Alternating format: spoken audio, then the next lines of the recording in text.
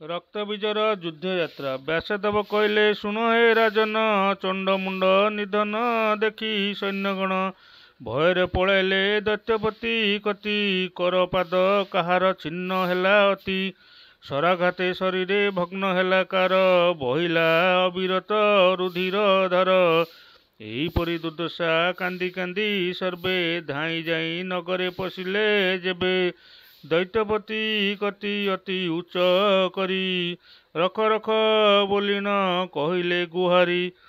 ସୁରପର ପ୍ରବର ଚଣ୍ଡମୁଣ୍ଡ ମୁଣ୍ଡ ଦଣ୍ଡକେ ସମରେ ଚଣ୍ଡୀ କଲେ ଖଣ୍ଡ।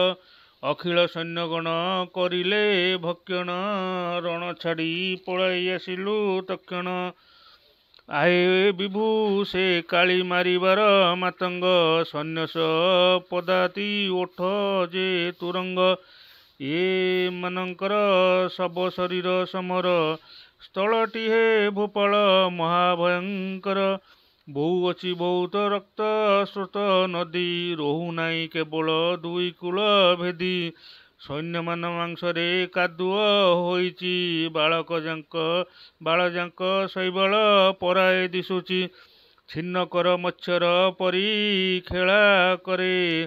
ସ୍ୱଚ୍ଛରେ ସେ ଆବରି ରୁଧିରର ଧାରେ ଭଗ୍ନ ରଥ ଚକ୍ରଟି ଆବର୍ତ୍ତି ହୋଇଛି। ଛିନ୍ନ ଶିର ତୁମ୍ଭେ ପରି ଦିଶୁଅଛି। ଭୀରୁଙ୍କର ଭୟପ୍ରଦ ନଦୀ ସନ୍ଦେହ ଦର୍ଶନେ ସୁମନ ସେ ହୁଅନ୍ତି ଆନନ୍ଦ ସୁମନେ। ଏ ହେତୁ ଈଶ ବଶ ରକ୍ଷା କର ଚାଲନ୍ତୁ ପଳାଇବା ପାତାଳ ନଗର। କ୍ରୋଧରେ ହୋଇ ସେ ଦେବୀ କ୍ଷଣକ ମଧ୍ୟରେ ମାରିଦେବେ ସୈନ୍ୟ ସହସ୍ର ଯୁଦ୍ଧରେ ହେ ଦନୁଜ ଈଶ୍ୱର ରଣ ଅଗଣାରେ ଦେବୀଙ୍କର ବାହନ ସିଂହ ଅଗଣାରେ ଦାନବଙ୍କୁ ଯେପରି କରାଇ ଭକ୍ଷଣ ସେହିପରି କାଳିକା ବରଷନ୍ତି ବାଣ ଅସଂଖ୍ୟ ଅସୁରଙ୍କୁ କରିଲେ ସଂହାର। ଏ ହେତୁ ସମର ନକର ନକର। ସହଜ ନିଶୁମ୍ବ କଥା ବୃଥା ମରଣକୁ ବରିଣ ନକରେ ମଥା। ଏ ରମଣୀ ହେତୁରେ କିମଣି ନୃମଣି ପାଣିକି ଫିଙ୍ଗି ଦେଇ ସାମ୍ରାଜ୍ୟ ସୁମଣି। ପଠାଉଛ କାହିଁକି ସମନ ସଦେହ? ନିଜ ବନ୍ଧୁ ବାନ୍ଧବ ପଦାତି ସୈନ୍ୟ ଶ୍ଵେତବଂଶ ନାଶିବ କ୍ରୂର କୁରମଣି ହିତ କର ତୁମର କି କରିବେ ପୁଣି ଜୟ ପରାଜୟ ଦୈତ୍ୟ ଅଧୀନ ହିତ ଦୁଃଖ ଭୋଗ କରାଅ କାରଣ ଚରାଚର ଅଧୀନ ଅଟେ ଯାହାର ଦେଖ ସେ ଦେବର ବିଚିତ୍ର ବ୍ୟାପାର ଏକାକୀ ରମଣୀ କରେ ଅସୁରରେ ଜୀବନ ବିସର୍ଜନ କଲେ କ୍ଷଣକରେ ପୁଣି ଏକ ଆଶ୍ଚର୍ଯ୍ୟ ଅଛି ବୋଲି ଭୂପାଳେ ଜାଣିଛ ସୈନ୍ୟ ସହ ସବୁ ଲୋକପାଳ ଏକାକିନୀ କାମିନୀ ଡାକୁଛି ତୁମ୍ଭକୁ ଆସ ବୋଲି ସମରେ ଧରିନ ଦମ୍ଭକୁ। ସୁରଙ୍କର ପ୍ରିୟଙ୍କର ପୁଷ୍କର ତୀର୍ଥରେ ଦୁଷ୍କର ତପ କଲେ ଯେବେଟି ପୂର୍ବରେ। ପୁଷ୍କର ପୁଅ ହୋଇ ଅତି ତେଜସ୍କର ବରପ୍ରଦ ହେବାର ଆସିଲେ ସତ୍ୱର। କହିଲେ ହେ ସୁବ୍ରତର ମାଗିନିଅ ଅମରତ୍ୱ ମାଗିଲେ ସେ କାଳେ ହେ ରାୟ। ଅସମ୍ଭବ ସେ ହେଲା କହିଲା ଆପଣ ସୁରାସୁର କିନ୍ନର ନର ପକ୍ଷୀଗଣ ଭୁଜଙ୍ଗାଦି ପୁରୁଷଙ୍କର ନ ମରିବେ ଏହି ବର ବରିଲେ ମାନସେ କି ଭାବି ବିଚାରିଲେ ହେତୁ ଆହେ ନରବର ଆପଣଙ୍କୁ ସଂହାର କରିବାର ବାର। ଲଳନା କୁଳ ଭୂଷା ରମଣୀ ଆସିଛି। ସୁଅ ବିଚାରେ ସ୍ୱହିତେ ଯୁଦ୍ଧ ଦିଅ ମୂର୍ଚ୍ଛି। ଜଣାଯାଏ ଆମ୍ଭକୁ ଆହେ ଦୈତ୍ୟପତି ଏ ଦେବୀ ମହାମାୟା ପରମ ପ୍ରକୃତି। ଏହି ଏକା କେବଳ କଳ୍ପାନ୍ତ କାଳରେ ଅଖିଳ ବିଶ୍ୱକୁଳ ନାଶନ୍ତି ବଳରେ।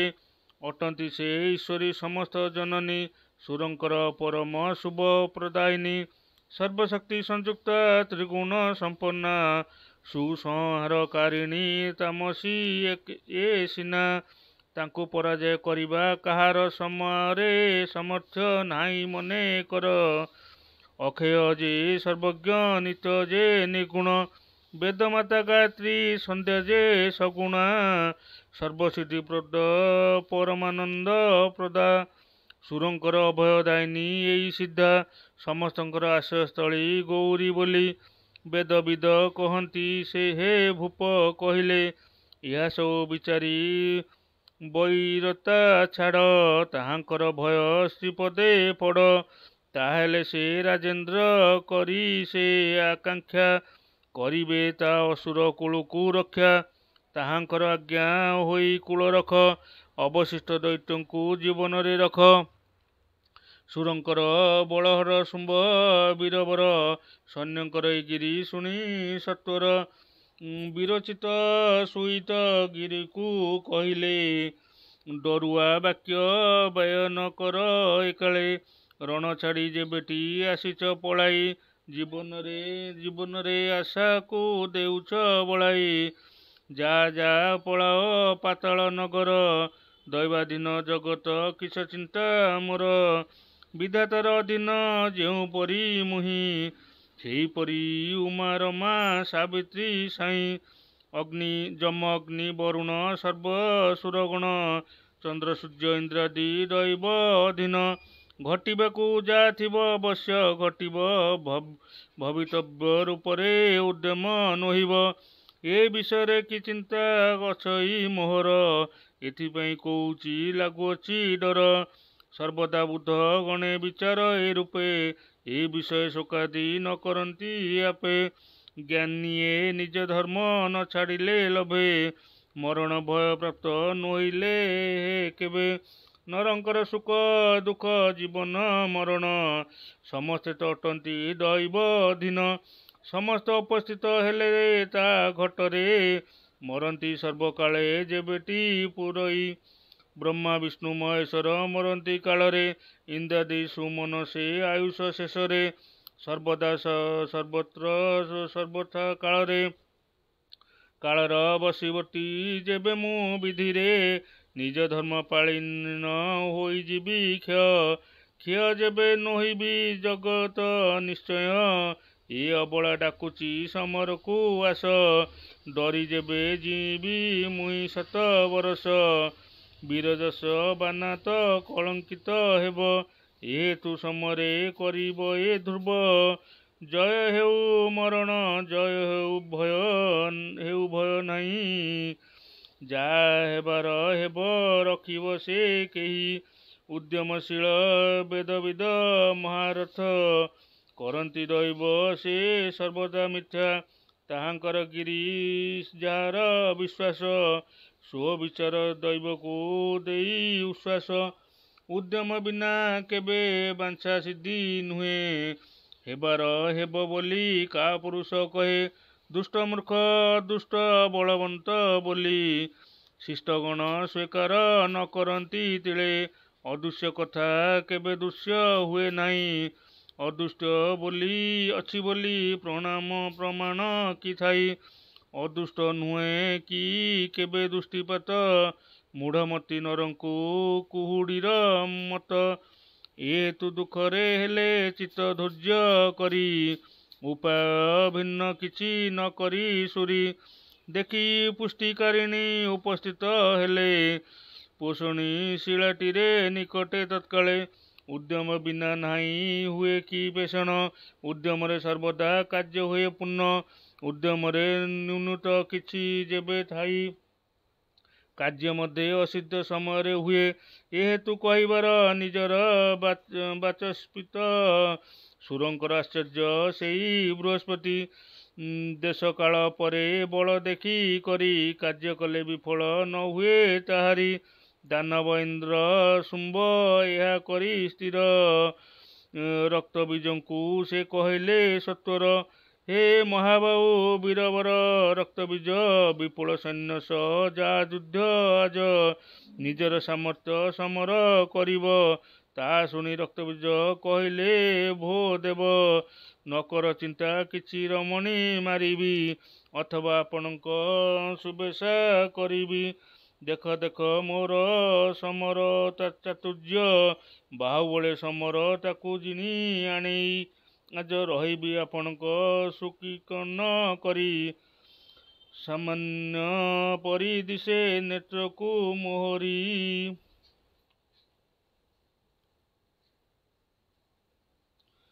ଜନ୍ମଜୟ ହେ ଜନ୍ମଜୟ ରାଜା ସେଇ ରକ୍ତବୀଜ ଏ କଥା କହି ରଥରେ ବସିନ ସହଜ। ମାତଙ୍ଗ ଯେ ତୁରଙ୍ଗ ରଥ ପଦାତିରେ ବାହାରିଲେ ଶୀଘ୍ର ସୈନ୍ୟ ସହିତରେ ଶୈଳଶିଖା ବାସିନୀ ଦେବୀ ସନ୍ନିକଟେ ପ୍ରବେଶିଲେ ସମସ୍ତେ ସମର ଉଚ୍ଚଟେ। ତାହାଙ୍କର ଆଗତ ଦେବୀ ଦେଖି ଦେଇ ଦାନବଙ୍କର ଦର ହୋଇବାର ପାଇଁ।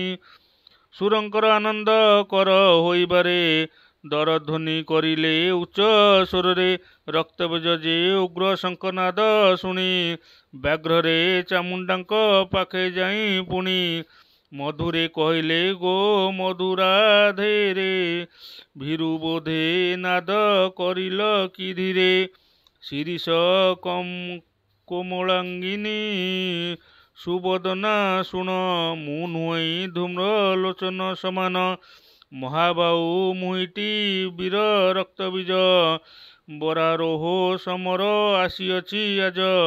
ଅଛି ଯେବେ ତାହାର ସମର ବାସନା। ସଜ ହୁଅ କୁମାର ମନେ ବସନା। ଭୟ ନାହିଁ ମୋର ବାହୁବଳ ଦେଖି। କାହା ପୁରୁଷକୁ କରୁଛୁ ବିଲୋକ। ତାହାଙ୍କର ସମାନ ମୁହିଁ ତ ନୁହେଁ। ଆଶବେଗ ସମର ଆରେ ଚନ୍ଦ୍ରମୁହିଁ କରୁଛି ଯେବେ ପୂର୍ବ ବୁଦ୍ଧଙ୍କର ସେବା। ନୀତିଶାସ୍ତ୍ର ଶ୍ରବଣ ଅର୍ଥ ଜ୍ଞାନ ବା କରୁଛି ଯେବେ ପାଠ କିଛି ନ ଅଭ୍ୟାସ। କ୍ଷଣେ ଯିବି ପଣ୍ଡିତ ମଣ୍ଡଳୀରେ ବାସ। ସାହିତ୍ୟ ତନ୍ତ୍ର ଶାସ୍ତ୍ର ନିପୁଣ ତୁ ଯେବେ। କହୁଛୁ ସିଦ୍ଧ ହିତଗିରି ଶୁଣ ତେବେ। ବିବୁଧେ ନବବିଧ ରସର ମଧ୍ୟରେ। ଶୃଙ୍ଗାର ଶାନ୍ତ ଶ୍ରେଷ୍ଠ ବୋଲନ୍ତି ବିଧିରେ। ସୁନର ବରଙ୍କର ଯେ ଶୃଙ୍ଗର ରସ ସର୍ବଶ୍ରେଷ୍ଠ ବୋଲି ନ ହୋଇଛି ପ୍ରକାଶ। ଦେଖ ରମାଣମଣ ରମାଙ୍କର ରମଣେ ସହିତ ହୋଇ ସଦା କିଛି ନ ନମଣେ। ସାବିତ୍ରୀଙ୍କ ରତିରେ ରତ ବେଦବର ପୁରନ୍ଦରୀ ସହିତ ସଦା ପୁରନ୍ଦର। ମାର ପର ଉମାଙ୍କର ସହିତ ମାତି ଅନାଙ୍ଗଙ୍କୁ ପୁନଶ୍ଚ ଅଙ୍ଗ ଦେଖାଇଛନ୍ତି। ତରୁବର ସନ୍ତତ ସୁଲତାରେ ରତ ମୃଗ ମୃଗୀ ସହିତ କପତି କପତ। ଏହିପରି ବିଶ୍ୱରେ ସବୁ ପ୍ରାଣୀଯାଙ୍କ ସହବାସ ହୁଅନ୍ତି ରସିକା ରସିକ।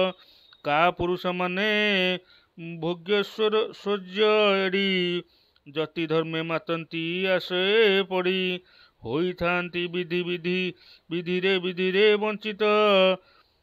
ନିତାନ୍ତ ମାଡ଼ ବୁଦ୍ଧି ନଥାଏ କିଞ୍ଚିତ। ସଂସାରର ସାରରସ ଅନଭିଜ୍ଞ ନର ହୋଇନ ମିଷ୍ଟାଭାଷୀ ଠକ ଧୁରନ୍ଧର ନରକଙ୍କେ ପ୍ରତାରିଣ ହୋଇନ ଅନେଶ। ମନ ଦେଇ ନିବେଶ କର ଶାନ୍ତିରସେ ଦେଖ ଦେଖ ଦୁର୍ଦ୍ଦଶା କାମ କ୍ରୋଧ ଲୋଭ ମତିଭଙ୍ଗ କରାଇ ଦିଏ ମୋର ଧ୍ରୁବ। ଜ୍ଞାନ କି ବୈରାଗ ଆଉ କିବା ରହେ? ଏ ତୁ କଲ୍ୟାଣ ତୁମେ ଗୋ କହେ। ସୁରଜିତ ପରମ ରୂପବନ୍ତ ଶୁମ୍ଭ। ମହତ ବଳଶାଳୀ ତା ଭାଇ ନିଶୁମ୍ଭ। ଏ ଦୁହିଁଙ୍କୁ ଯାହାକୁ ଇଚ୍ଛା ହେବ ତୋର। ବରତ୍ୱର ବରଣ କର ନୀରବରେ। ସମ୍ମୁଖିତ ସ୍ଥିତ ରକ୍ତବୀଜ ଏହା କହି ବିରତ ହୋଇବାରେ ଶୁଣି ମହାମାୟୀ ଚାମୁଣ୍ଡା ସେ କଳିକା ଅମ୍ବିକା ହସିଲେ ଶ୍ରୀଦେବୀ ଭାଗବତ ଏହି ସ୍ଥଳେ ମହତ ପୁରାଣ ପଞ୍ଚମ ସ୍କନ୍ଧରେ ରକ୍ତବୀଜ ଗମନ କରିବାର ଯୁଦ୍ଧ ସପ୍ତବିଂଶ ଅଧ୍ୟାୟ ହୋଇଲା ସମାପତ ବାଲାଜୀ ରଣା ଭାବେ ଦେବୀ ସନ୍ତତ